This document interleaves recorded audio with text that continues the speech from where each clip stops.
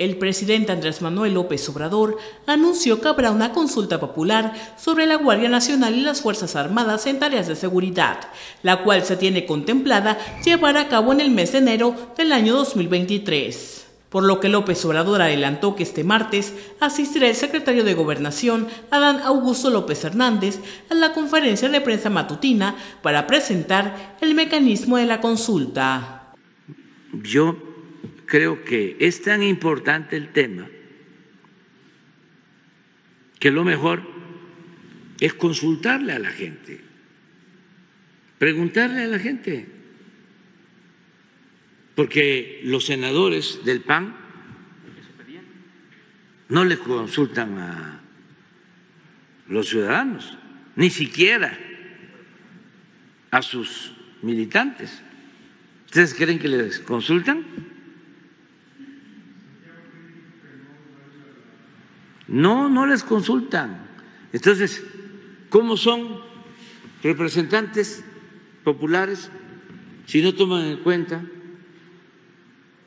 la opinión del pueblo independientemente de las banderías partidistas? ¿O es que va a predominar más en el poder legislativo la política partidista o los sentimientos de la gente. ¿Qué es lo más importante?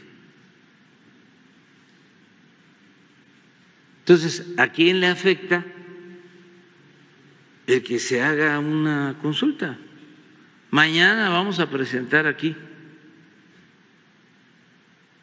eh, el programa no se le va a llamar consulta porque tiene que buscarse el marco legal apropiado. Además, aseveró que no quiere que participe el INE en el proyecto para preguntar a la población sobre su opinión respecto a la permanencia de las Fuerzas Armadas en tareas de seguridad, ya que no se le dará nombre de consulta. En este sentido, su administración buscará una forma para que no se gaste al realizarla. Con información de Marisol Mateos, Noticias TVT.